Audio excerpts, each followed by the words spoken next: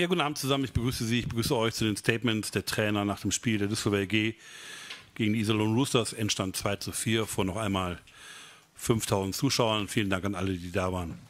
Die anderen Ergebnisse. Die Eisbären besiegen Bremerhaven mit 5 zu 1. Krefeld unterliegt Schwenningen 3 zu 5.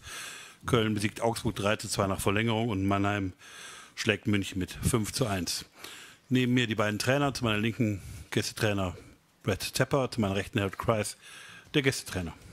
Yeah, thank you. Um, we've been struggling for a long time, so it's nice to finally get a win in front of uh, an awesome uh, Dusseldorf crowd, and nice to see our fans here as well.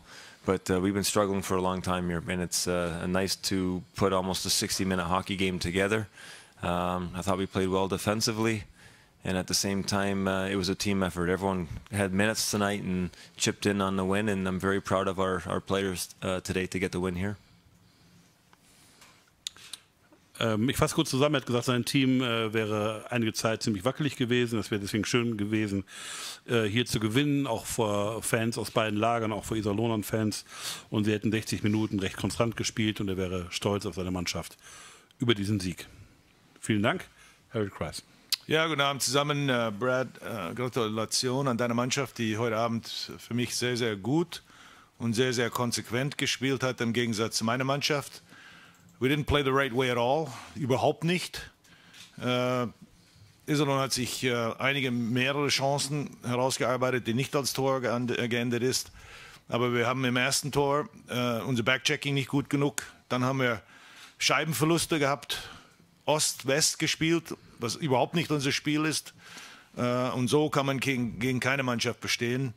Äh, insbesondere keine Mannschaft, die eben wie Brad gesagt hat, äh, nach so vielen Niederlagen und so vielen äh, Tiefschlägen äh, beißt und kratzt, um wieder einen Sieg zu erarbeiten. Also heute war für uns ein ganz, ganz schlechtes Spiel, ganz schlechte Entscheidungen und äh, einfach nicht ausreichend ähm, überhaupt ein Spiel zu bestreiten.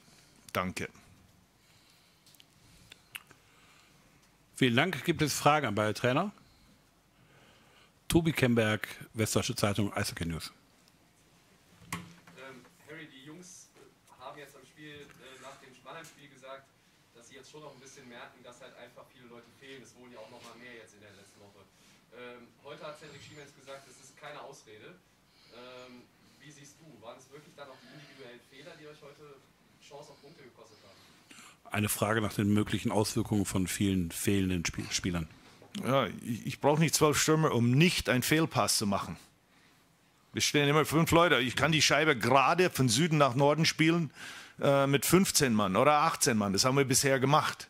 Aber wenn ich versuche, Ost-West zu spielen oder kompliziert zu spielen oder anders zu spielen, als wir es eigentlich spielen sollen, dann passieren äh, Scheibenverluste und anstatt, anstatt die Scheibe im Vorchecking hinterher zu rennen, sind wir nur am Backchecken oder verbringen zu viel Zeit in unserer Zone. Nein, die Anzahl der Spieler ist keine Ausrede. Gibt es weitere Fragen? Tobi Kemberg. Dienstag geht es schon weiter, ihr habt wenig Pausen, der Spielplan bleibt eng. Äh, habt ihr die Chance, dass Dienstag irgendwie ein paar mehr Leute auch wieder dabei sind? Eine Frage nach dem Personal für Dienstag.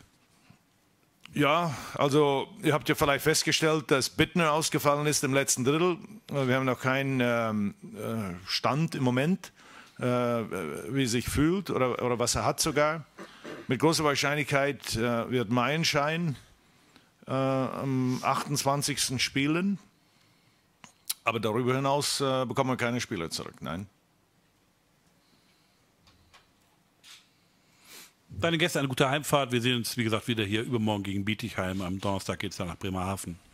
Für heute vielen Dank und tschüss.